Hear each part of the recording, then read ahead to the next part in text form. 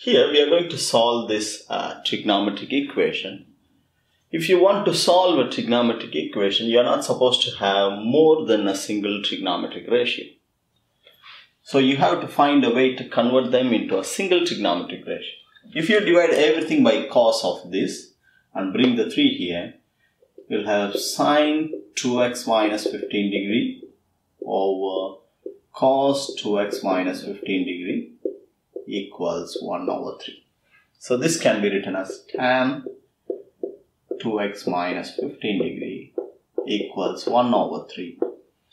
And it comes under harder trigonometric equations because the x is multiplied by 2 and you have negative 15. So you multiply the limits by 2. You get negative 180 less than 2x less than 180. So if you look at your textbook, they want you to subtract 15 from the limits also, but usually that's not the method I teach. I want to keep the limits as some neat values. So I'm not going to add 15 to the limits. Now find the principal value. Use your calculator in degree mode. So 2x minus 15 degree equals tan inverse of 1 over 3 they want the answer in one decimal place so I'm going to take it as one decimal place 18.4 degree. That's the principal value. Now draw the ASTC diagram. ASTC and our limit is negative 180 and positive 180 so you need to look for a quadrant where tan theta is positive tan theta will be positive here and here. So here the angle is theta. Here it will be, we are talking about negative limit, so it's minus 180. So this will be minus 180 plus theta. So our answer will be 2x minus 15 degree is the principal value. Come on minus 180 plus the principal value. That's not the final solution. You need to bring 15 here, add 15 to both the, the solutions and divide by 2. So you will get x. So the first value is 16.7 degree and the second value is negative 73.3 degree. You can use textbook method or this method. But if you want to use this method, if you have plus here, let's say you have 2x plus 15, you are going to subtract 15 from this value and divide by 2.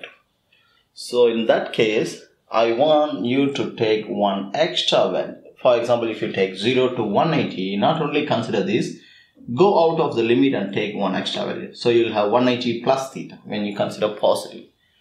You will have one more solution here, 180 plus theta and when you subtract 15 and divide by 2 you will get final answers right? Then compare the answers with your original limit.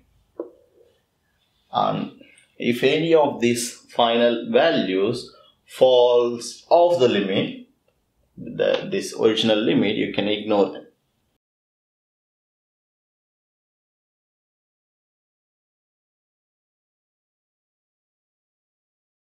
The first step to solving a trigonometric equation is converting them into a single trigonometric function.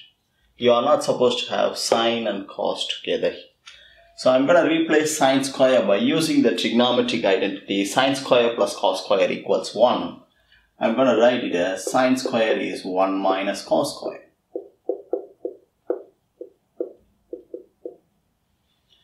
Now expand this 4 minus 4 cos square theta plus 8 cos theta minus 3 is 0. And simplify, you'll get minus 4 cos square plus 8 cos theta, 4 minus 3, 1 equals 0. Multiply everything by negative 1. So you'll have 4 cos square theta minus 8 cos theta minus 1 is 0. It's a look it looks like a quadratic equation Solve this quadratic equation, you will get two values. Find the two values now. You get 2 plus square root of 5 over 2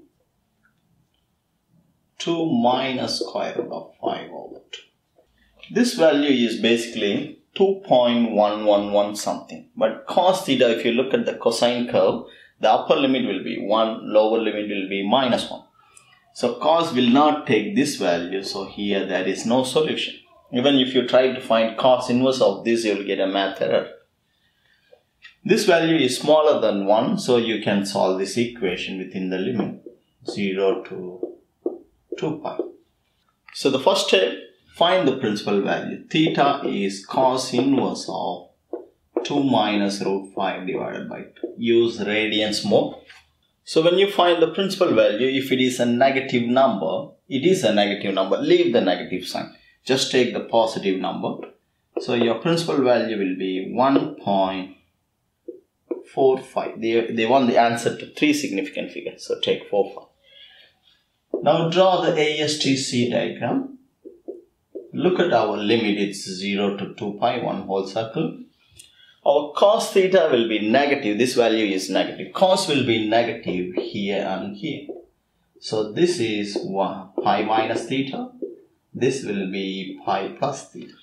So our answer will be pi minus 1.45, pi plus 1.45.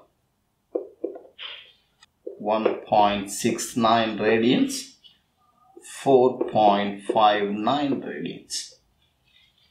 That's the solution. So remember this, whenever you come across a trigonometric function, the first step to solve this trigonometric equation is converting them to a single trigonometric function and then solving.